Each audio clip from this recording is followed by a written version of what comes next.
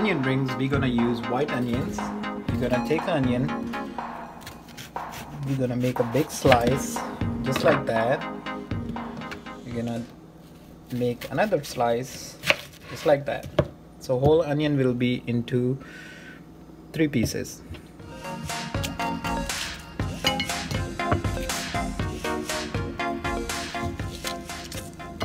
Alright, so these are our onion rings.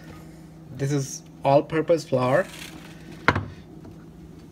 And this is these are the breadcrumbs. You can get it from the market or you can make your own breadcrumbs. Just take a bread, dry it out and crush it up. So first thing we're gonna take our all-purpose flour. We're gonna add some black pepper in there. Some salt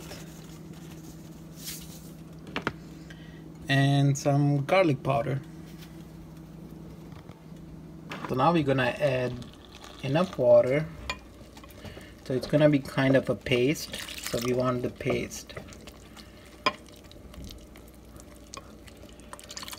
Alright, I think that's enough. Now we're gonna just mix everything up.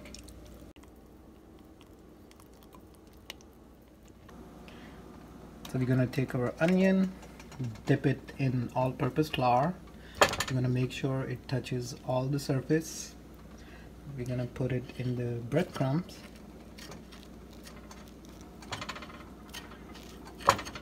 Just like that. And we're gonna land it right here in the oil